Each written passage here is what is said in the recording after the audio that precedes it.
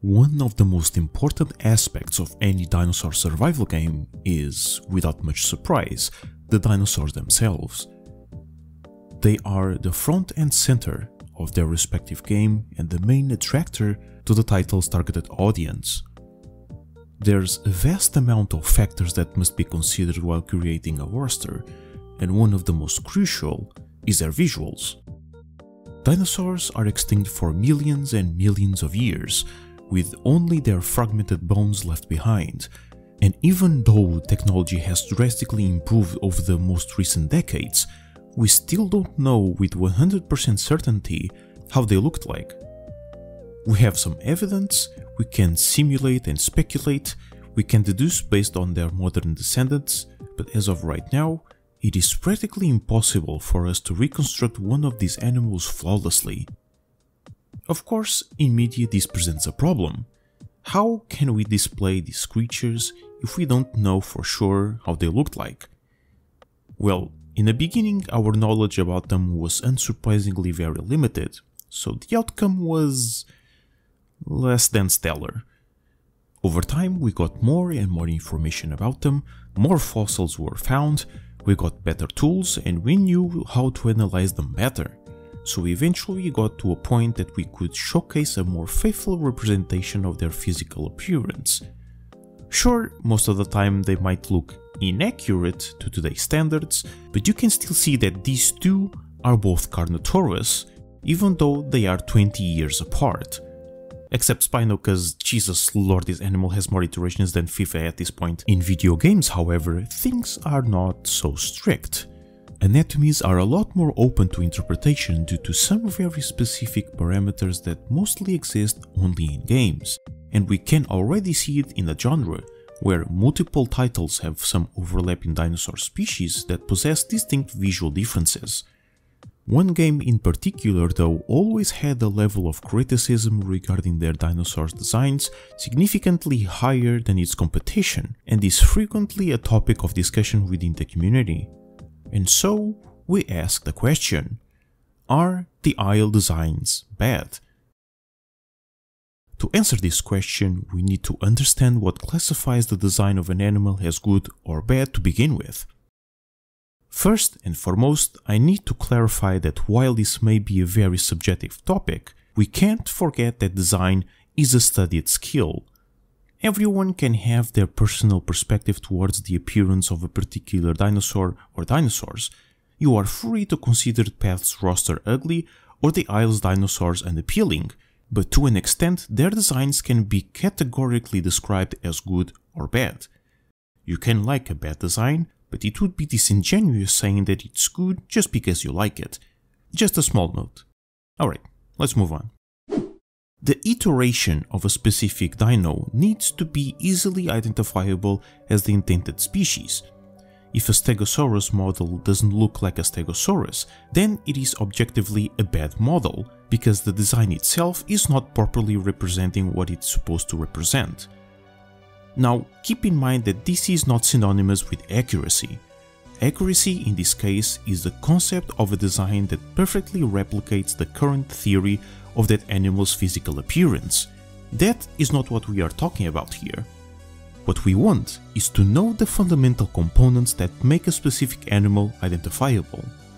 Example Ceratosaurus. This beautiful medium-sized theropod is currently present in the majority of the dinosaur games we play. All visually unique and yet all easily recognizable as a cerato. Why is that? For that, we need to categorize the several anatomical aspects that classify an animal as this dinosaur. Let's start with the basics. We know that Cerato is a carnivorous theropod, therefore a bipedal dinosaur, medium-sized, possesses thick bone structures named osteoderms throughout its back, an oversized head, long teeth, and its most notorious feature, their three head crests.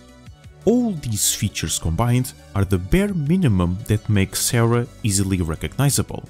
You could emphasize some aspects more than others, but as long as all these are present, most people could effortlessly tell which dinosaur is supposed to be.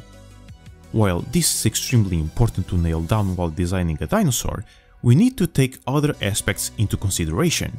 The game's theme and aesthetic are other factors that contribute to the design's quality. In a good game, all assets have a level of aesthetic consistency that matches with its theme and that is intentional. It not only displays the quality of the product, it also enhances immersion and improves suspension of disbelief while playing, optimizing the user experience. The Isle was always criticized for having inaccurate models or straight up fictional depictions of certain dinosaur species.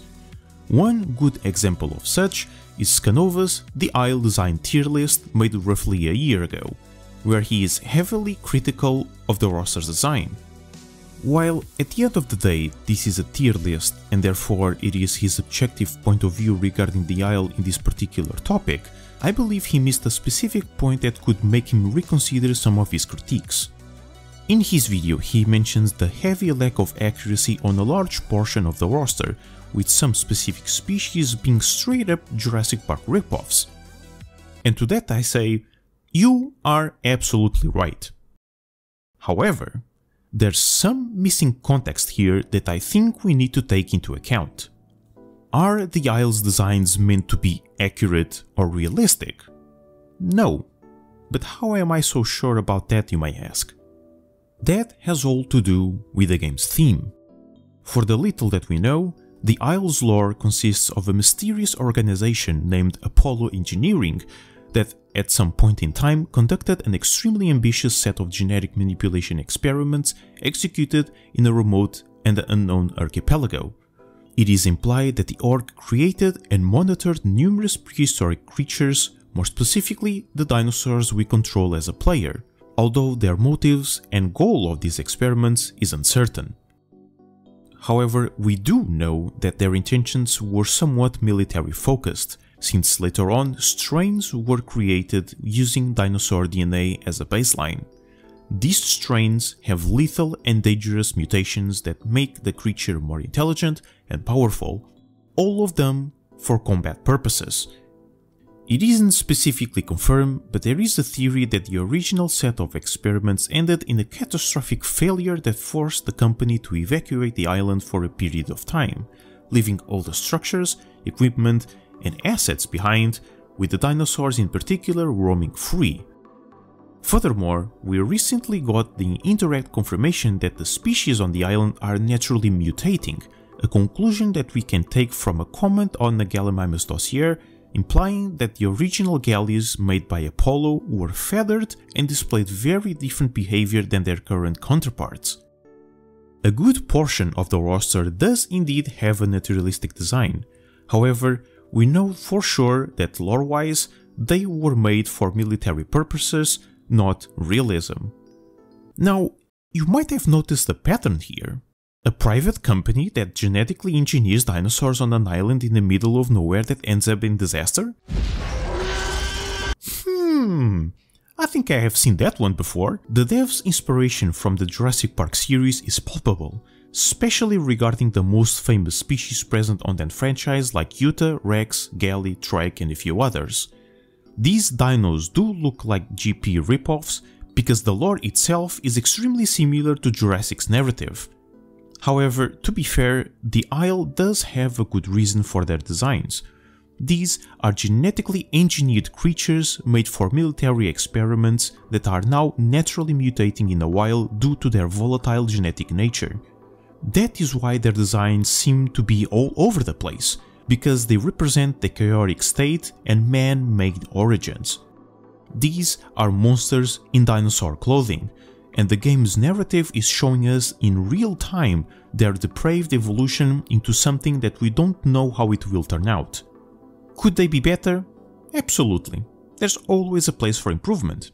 But for that premise, the Isle's designs are very good. But what do you guys think? Do you have any particular reason for disliking the Isle's roster? Let me know in the comments below. A huge thank you to my Patreon supporters for supporting the channel and the content I create. If you wanna join the ranks, the link will be in the description. Don't forget to leave your thoughts and opinions down below, join our Discord server for memes, opinions and stuff, and I hope to see you all next week.